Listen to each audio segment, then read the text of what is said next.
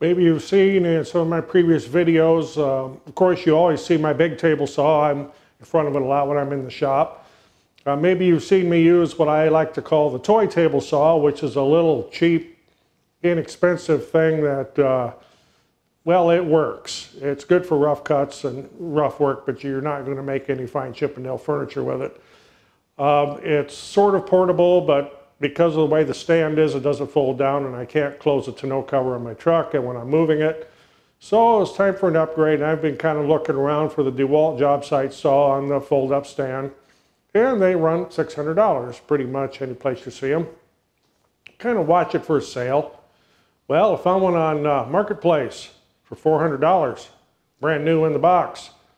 Guy got it for Christmas. Wife won't let him keep it. I'm going to go get it.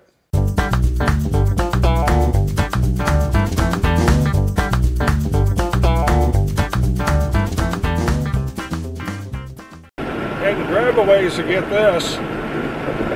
Cold, frosty morning, but sometimes when uh, you have the opportunity to save a couple hundred bucks, you make that drive. So uh, three counties and two different states, and heading back to the renovation house, get this thing inside and see what I got.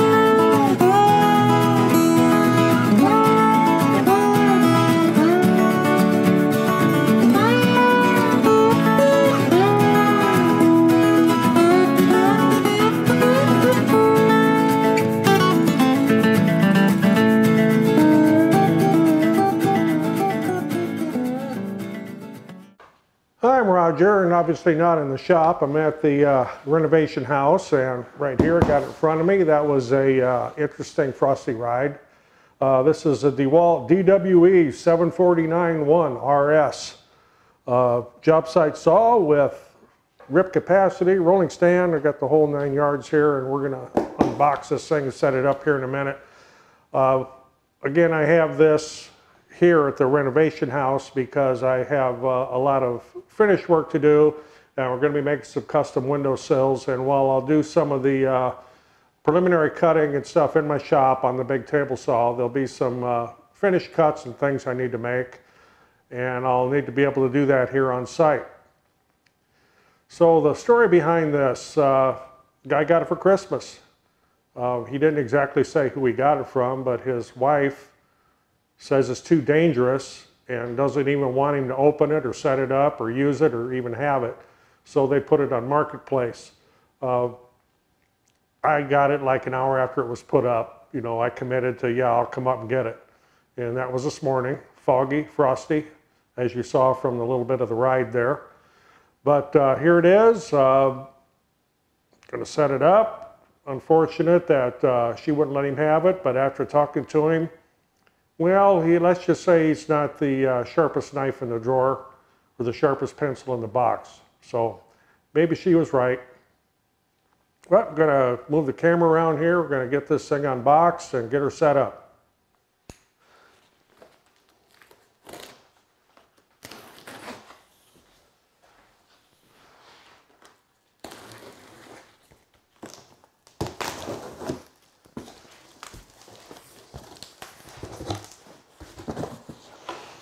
Oh boy.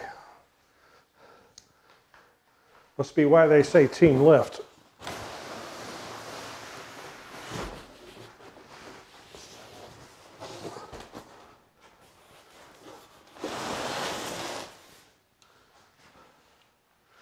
got a better way to do this.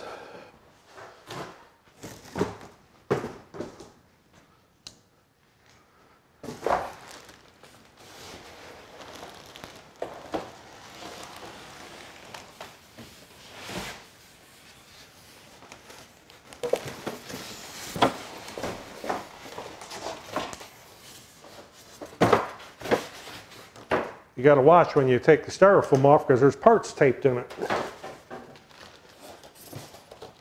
On both of them.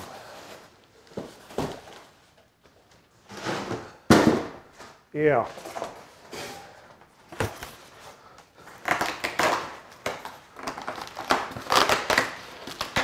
So on the first one here we got wrenches and the miter gauge. And the other we have the riving knife and the blade guard. And I need to get rid of some cardboard. Okay, I got rid of some clutter, so now we'll see what's in the other box here. I'm sure the stand is in there. This thing's heavy.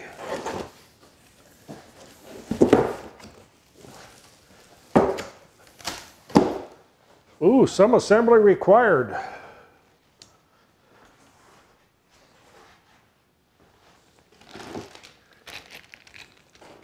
Little parts and pieces all over the place here. Wheels.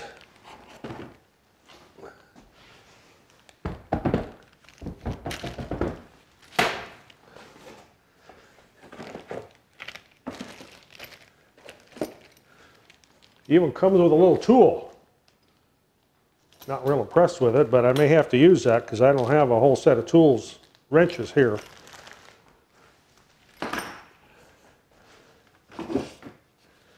Handle.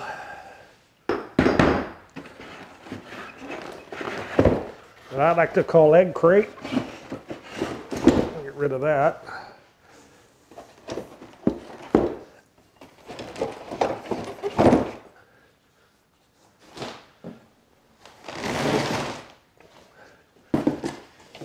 Well, this is not going to be a two minute job here.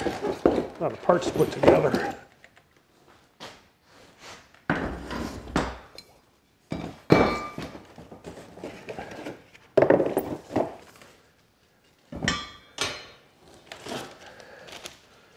And assembly instructions.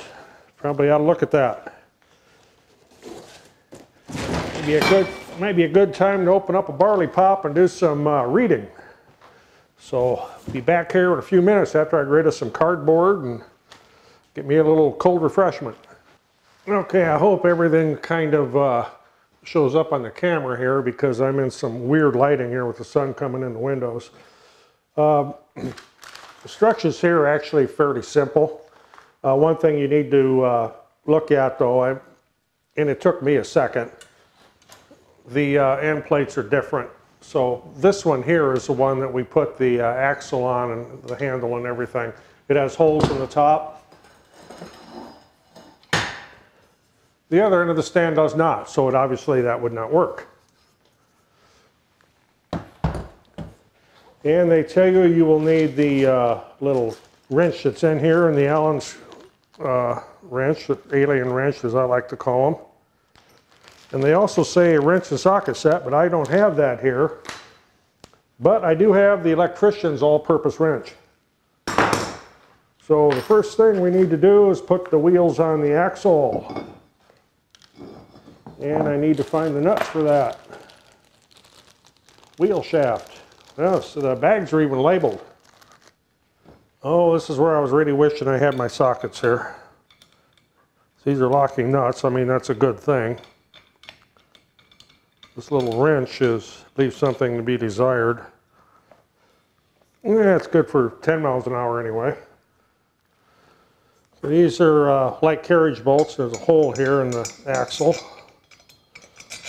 They need to pass through that and go into the bottom hole on the okay next up is the handle. We have these uh, handle. Even mark says handle. And we also have the kickstand. I actually got ahead of myself by one step there. Well, this here would be the kickstand. And that bag, of course, was labeled kickstand. Yeah, the handle goes on the other piece over there, so I would have been scratching my head here. So we got these little plastic plugs, we got some bolts and nuts.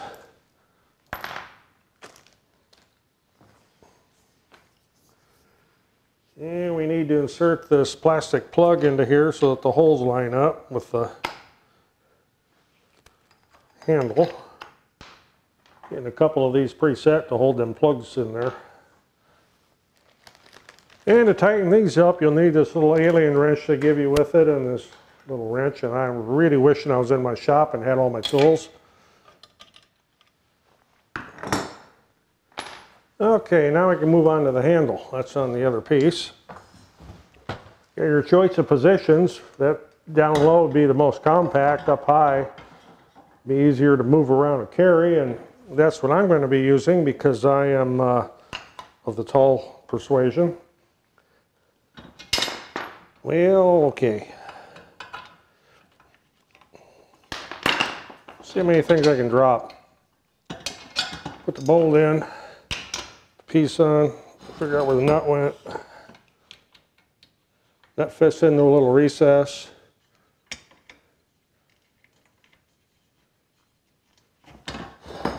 Again, I really wish I had my sockets here. Okay, that's pretty much all there is to it for putting the stand together. I didn't video tightening bolts up on the handle. That's pretty rudimentary.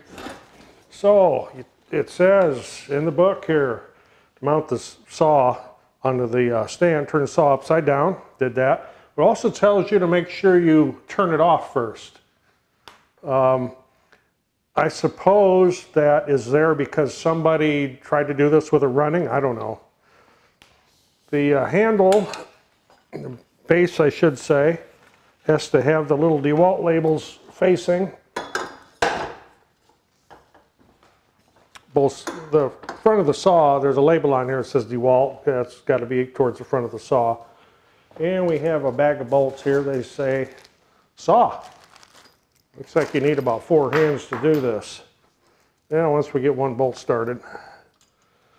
Okay, you don't want to tighten those up yet because you, need to slide the other piece in and get everything kind of lined up and in the holes where it belongs.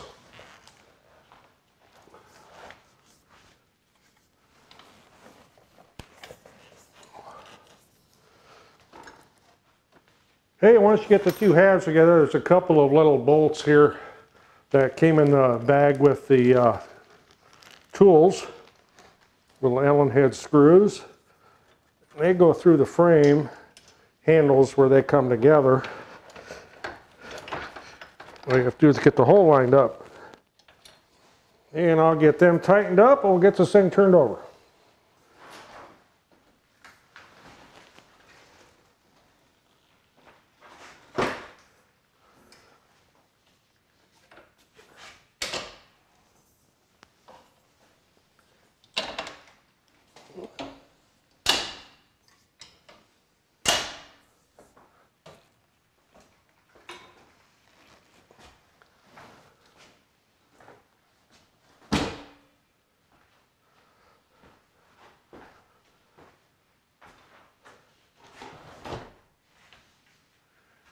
Well, there we have it, all put together. Now, uh, got to get in into the, putting the blade guard on and, uh, you know, it's got a blade in it already. Rip fence out and check this thing out here in a minute. Okay, so it's not generally recommended that you run a uh, table saw in your living room. But uh, as I said, this is a renovation house and there's sawdust all over here anyway. And we, I don't know if you can see back in the background, we got stuff sitting all over. But it's the way a renovation goes. You got stuff just sitting everywhere. But, uh, well, let's run a piece of wood through this. Got everything assembled here. Uh, I didn't go into details about putting the fence on and everything. Um, I was going to do a uh, overview of the fence alignment and the blade alignment and setting the pointer and setting the bevel pointer. But as I checked them, everything out of the box was perfect. So I'm impressed with that. So there was absolutely no adjustments to make. Got a little piece of OSB here. Going to rip a six inch strip off of it.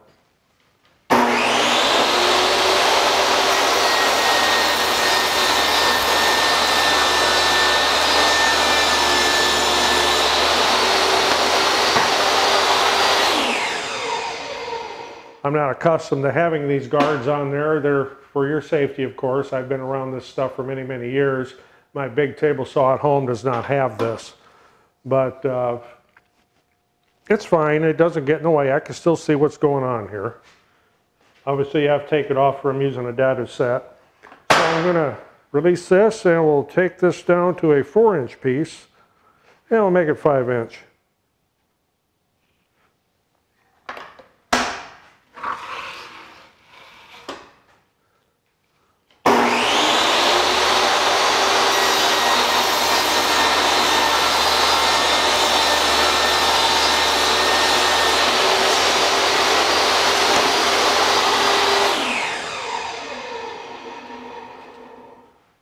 Nice straight smooth cut. So yeah, I'm happy with it. There's some features of this. You go, you can turn this fence around. This will flip down if you're doing a narrow rip and you need to be able to get your push stick in there. Um, I may add a upright auxiliary fence to this uh, sometime in the future here if I find out I need it. Uh, but otherwise, everything seems to work and I was impressed with it being correct out of the box.